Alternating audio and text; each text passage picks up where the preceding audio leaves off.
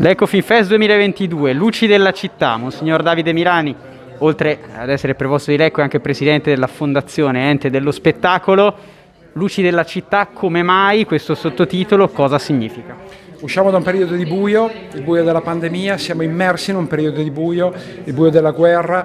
il buio anche di questo momento, comprendiamo di essere fragili, vediamo una natura che si ribella, forse si ribella alla violenza che abbiamo operato, vediamo questa siccità che anche qui a Lecco comincia ad essere problematica e allora abbiamo bisogno di luce, abbiamo bisogno di qualcosa che illumini questo tempo e cosa di meglio della cultura può illuminare questo tempo, cosa di meglio del cinema che è in grado di aprire tanti dibattiti, di porre tante riflessioni. Il nostro festival è organizzato un po' come un albero, ci sono le radici, il programma serale, cioè la proiezione cinematografica, cinematografica e poi a salire eh, queste radici generano un tronco e tantissimi rami. E allora ecco la fioritura del programma, più di 20 eventi eh, con la presenza dei giovani, eh, con i dibattiti sui temi dell'economia, della comunicazione, del ruolo delle donne, le riflessioni eh, a partire da altri film che vedremo durante il giorno al Cinema Aquilone aperti a tutta la città e tanti incontri con i protagonisti, eh, Carlo Verdone, eh, Christophe Zanussi, Valeria Solarino,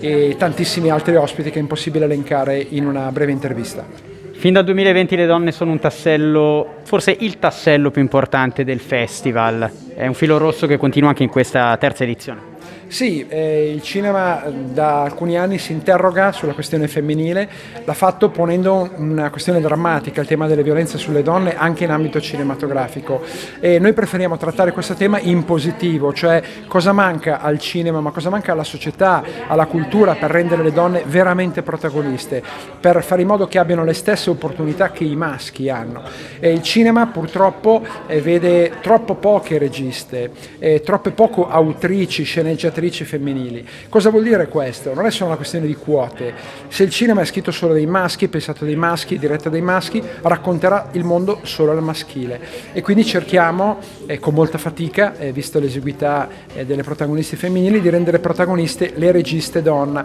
le autrici donna e li abbiamo eh, presenti qui a Lecco. In sole tradizioni abbiamo portato quasi tutte le registe italiane. Parlando del lato puramente cinematografico di questo festival, ci sono alcuni film che sarebbe impossibile nel 2022 vedere da qualunque altra parte, ci viene in mente Ordet che presenta Verdone, un film del 55, insomma eh, ci sono, sono state fatte delle scelte non banali.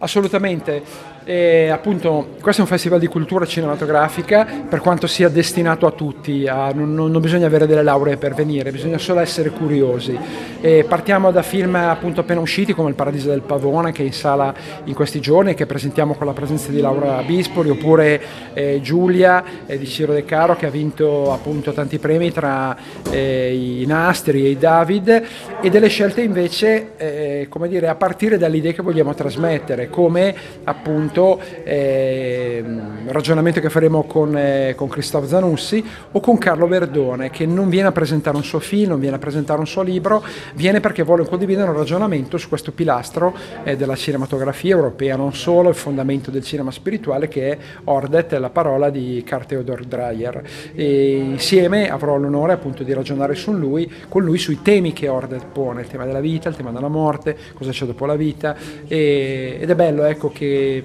eh, Verdone abbia scelto proprio Lecco il nostro festival per un ragionamento così intimo che però lo espone al pubblico. Grazie Monsignor Milani, appuntamento al 7 di luglio per l'inaugurazione di Lecco Fest 2022.